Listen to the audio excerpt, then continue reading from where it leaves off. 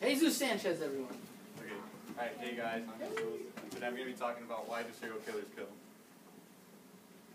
Alright, so to start off with, I'm going to give you guys like a little bit of like background info on me, like in terms of my interest in uh, like childhood, to let you know, to let you guys know why I would choose a topic like serial killers. So as a kid, I've always been intrigued with the idea of public safety. Like growing up in a community filled with gang violence, I always wanted to like, guard people's well-being and like make the community feel safer in. And because of that, like like living in the city of Chicago, like we experience violence on a daily basis. Some of us, most of us, sadly. And like seeing shootings on TV and stuff, like all this crime we see, sort of makes us like numb to the violence that plagues like in the streets of Chicago. And because of my passion for law enforcement and social justice, I decided to pick up on a topic like serial killers. there are many, uh, uh, more, a lot of times people think that insanity drove a person to kill multiple people. However, I think that there's something much more to the interpretation. There are many things that could be considered a crime. Murder, arson, kidnapping, money laundering, um, drug trafficking. However, uh, serial killers aren't people I see on the news very often. And for this reason, I'm like, I'm curious to know what drives a person to kill multiple people. So like up here we have uh, uh, different serial killers ranging from cannibals to rapists to sociopaths. So what is a serial killer? The FBI, FBI.gov defines a serial killer as a person who has killed two or more people in two or more different occasions. So for my research project, I wanted to interview someone that had like firsthand experience with this type of stuff. So I went to my uncle, uh, supervisor inspector Grimaldo with the United States Marshal Service, and uh, I asked him five questions. So the first question I asked him was like, was there, were there any similarities in the traits that serial killers he's caught had? He said more, more than likely all of them had like a sense of apathy, egocentric, and sociopathic tendencies meaning that these people were oftentimes like antisocial, lacked enthusiasm or concern, and had little regard for the feelings of others. And for the similarities and motives, he said most times that we see like in media, we see like these genius like mastermind criminals that like go out and kill people, like are never caught by like law enforcement. But he said um the motives are like most of these killings happen like during the heat of the moment, and it's not like what we see in media.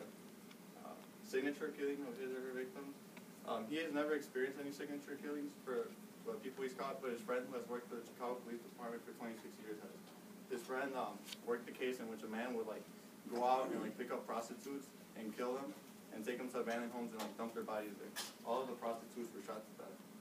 Um, how accurate is the media portraying killers? Like I said, media sort of glorifies them. They make them seem like they're really smart and like they're always like one step ahead of law enforcement officials, but in reality, serial killers are just like us. They're like normal people. They could be normal, smart, geniuses, whatever. They just vary. Uh, what drives individuals to kill multiple people?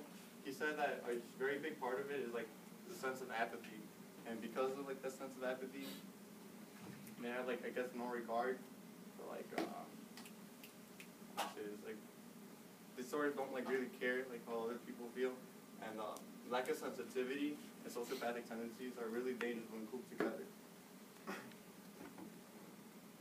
And through this interview, I learned that in order for me to really know what drives a person to kill somebody, for the people I pick, is that I should be looking at their background. By background, I don't necessarily mean like their childhood or anything, but I mean like their hobbies, the people they talk to, the way they acted in their household, you know, things that set them apart from other people.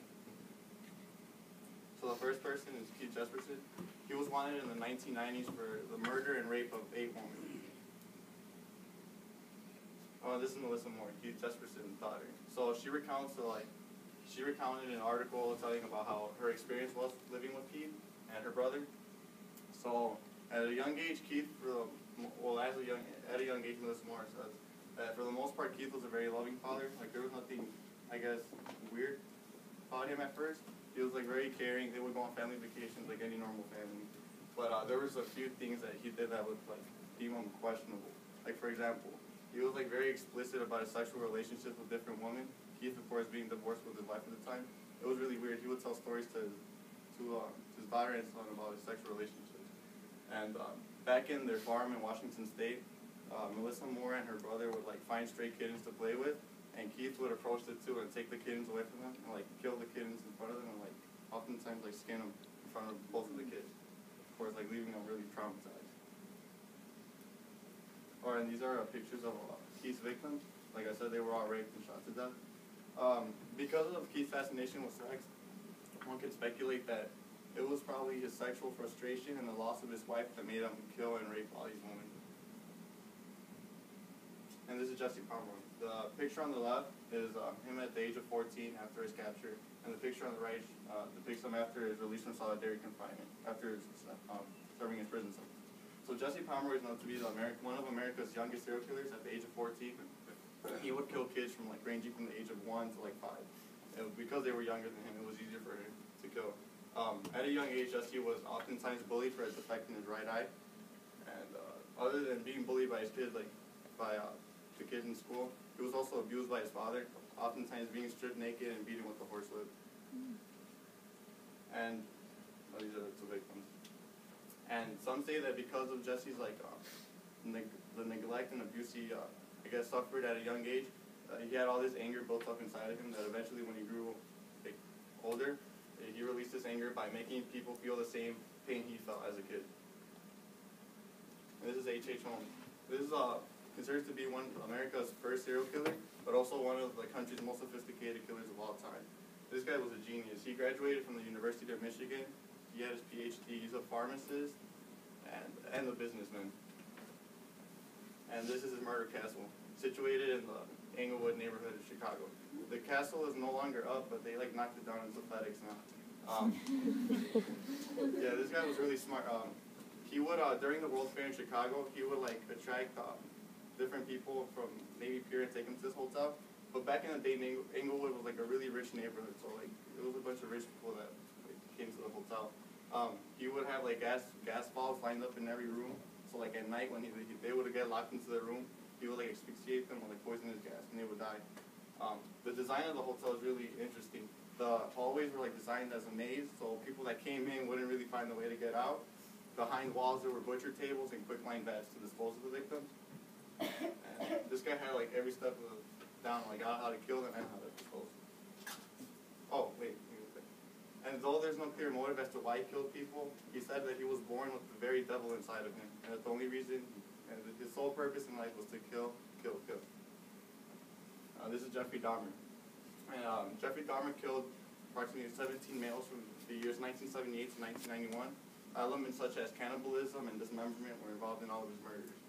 Um, at a young age, Jeffrey Dahmer was normal, I guess. He was very like social and play around with kids too.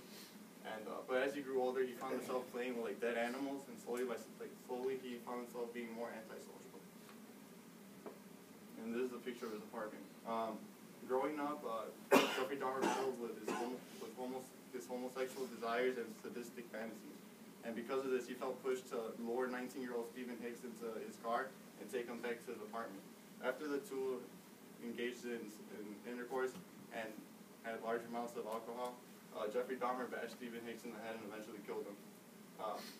And Jeffrey Dahmer's explanation for this is that he didn't want Stephen Hicks to leave him. This would probably explain why Jeffrey Dahmer ate all of his victims as a way of saying, you're never going to leave me. And this is Ted Bundy. Uh, described to be as a boy next door because of his good looks and intelligence, he was able to lure any woman to his choice. He attended the, in the University of Washington. He went out with a really, with a really pretty and rich girl. After the breakup between the two, he found himself being like really antisocial and depressed. And because of this, a lot of his victims resembled his ex-girlfriend's uh, physical appearance. And a lot of people say that he targeted specific women in order to gain vengeance for the breakup that happened in college. And another uh, serial killer situated here in Chicago is John Wayne Gacy, also known as the Killer Clown. He was charged in the 1980s. He was charged for the murder of 33 young men.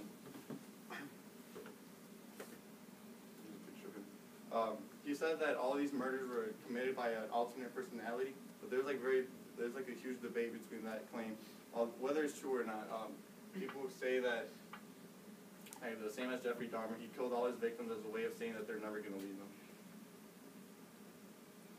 him.